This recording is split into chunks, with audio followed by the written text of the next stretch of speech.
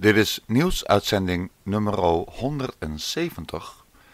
En die doe ik vandaag omdat ik, dat was vanmorgen, werd ik eh, toevallig gebeld eh, door iemand die, eh, die ken ik dus. En die volgt mijn vlog. En hij vindt het dat ik te weinig subscribers heb, te weinig abonnees. En hij gaf mij een tip. En hij zei, wat jij geschreven hebt over het werk van Anne Frank, over het werk over Anne Frank, dat duurt dus bij elkaar, nou zullen we even gaan tellen. Dus dit is Anne Frank, dit is nieuwsuitzending 103. Dat is alweer heel veel uitzendingen geleden. Dat was het bijna een uur. Hier heb je 40 minuten. Dat is weer bijna een uur. En dan krijg je hier 35 minuten. Nou, dat is bij elkaar opgeteld, uh, zullen we zeggen drie uur. Ja, pak een beet ongeveer. Nou, zei dus die vriend, want het is een vriend, het is een hele aardige jongen, hij heeft een heel mooi accent.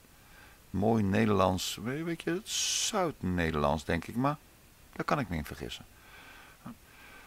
Maar een mooi uh, landelijk accent, laat ik het zo maar zeggen. Het lijkt me een vriendelijke vent. En met hem gaan we samen met Jurk Liesman er ook het tempo in houden. Dus, uh, hij heeft nog een beetje dingen met Skype en zo. Maar dat komt wel voor elkaar. Nou, hij zei dus, uh, dat duurde allemaal veel te lang. Dus je moet het veel korter doen. In een paar minuten. En ik ben begonnen om 19... Even kijken hoor. Ik ben nu twee minuten bezig. nou, waar gaat dit nou over? Nou, deze uitzendingen die zijn gebaseerd op een boek wat ik gekregen heb. Wat ik meegegeven werd door mijn tante Til. En dat is de jongste zus van mijn vader. Dus die kan je zo opzoeken. En ze woont op Zonnestein. nee, is een grapje.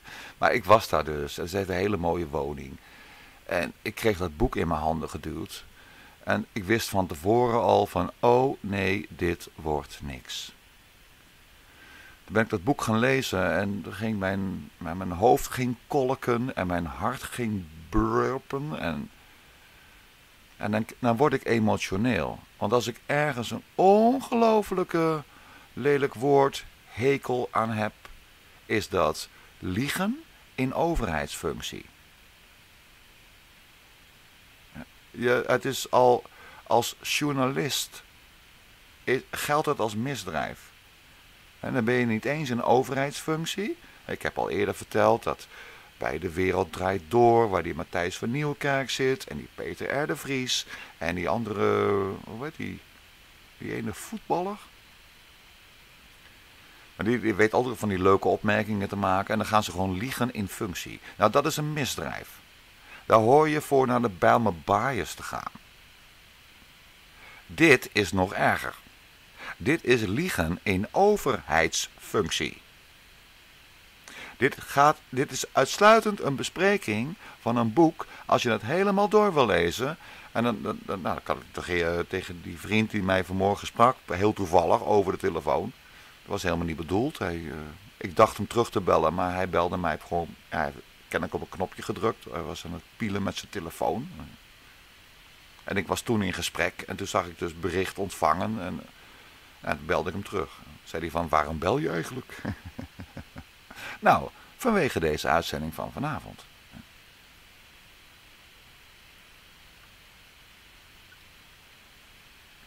Kijk, het mag niet. De, de overheid mag niet liegen. Ik heb jarenlang gewerkt, ik, hoop er nog steeds te werken, natuurlijk werk ik daar nog steeds, in de boekhouding. En dan moet je gewoon precies zeggen hoe het is. En een liegende boekhouder, ja, dat is, het, dat is het einde van je onderneming.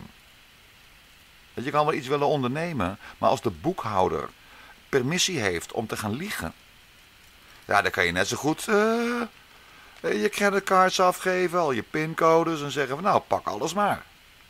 Wil je mijn dochter ook?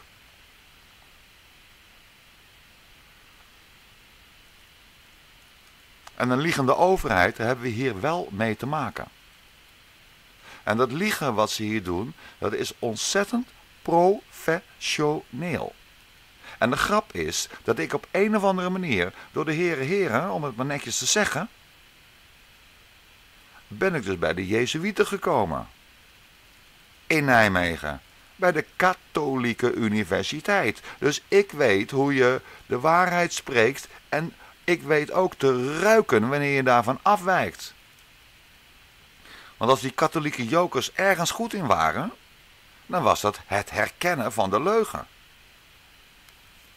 Je hoefde daar maar een millimeter buiten de pot te piezen. Ja, dat, dat is maar netjes Nederlands. Ja. Maar dan was je al het bokje. Dan was er altijd weer iemand die het beter wist. Hè? Dus je moest er erg zorgvuldig zijn met je taalgebruik. Nou, het lijkt mij dat als je als staatsuitgeverij, want daar hebben we het hier over, breng je dus het dagboek van Anne Frank uit. En Anne Frank, voor degene, nou ja, dus ik ben nu te laat, maar ik hoop dat iedereen, Anne Frank, dat was dus dat Joodse slachtoffer. En you believe me, dat die dame, voor zover ze geleefdheid, geleefd heeft, maar als zij niet geleefd had, dan zijn er andere Joodse dames van haar leeftijd gekrepeerd bij bosjes.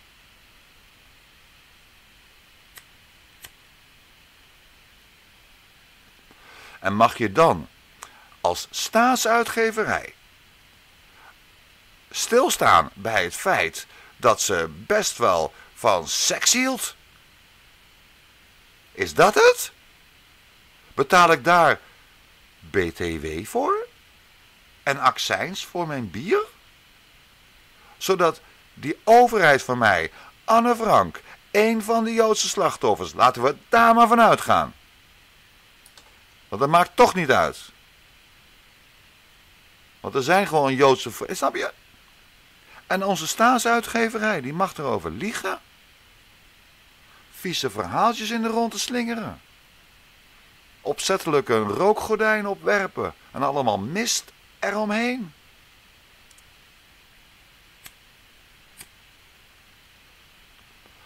Daarom heb ik dit allemaal voor jullie gefileerd. Taalkundig gefileerd. En ik zeg ook een aantal keren eh, dat ik dan. Uh, je hoeft niet eens geïnteresseerd te zijn in wat ik vertel. Het is minimaal interessant dat ik je uitleg hoe taal in elkaar zit en hoe je een leugenaar kan herkennen. Want het is beter om te weten wie er liegt. In plaats dat je zegt van ja, ja de overheid die, die zegt dan dingen en die stemmen niet helemaal overeen met de werkelijkheid. Maar uh, dat is in de fantasie van de overheid. Het gaat allemaal om de goede gedachten. Nee. Want er zijn Joodse mensen weggevoerd. En waar ze gebleven zijn, ja, we hebben een aantal lijken aangetroffen en dat waren er niet drie. Dat waren de stapels. Leuk is dat.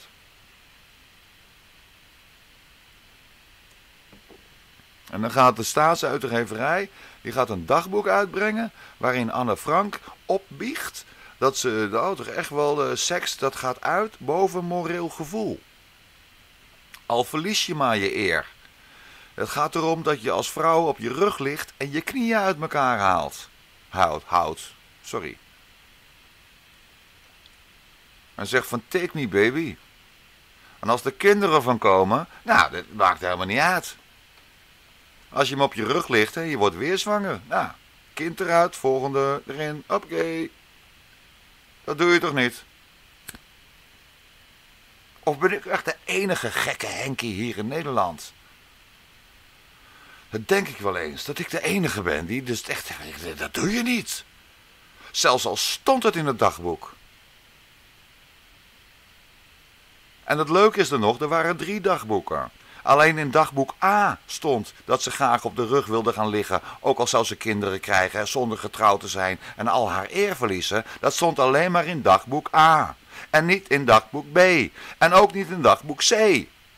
Nou, dan wil ik graag weten, waarom niet in B en C? En waarom heeft het kind drie dagboeken bijgehouden?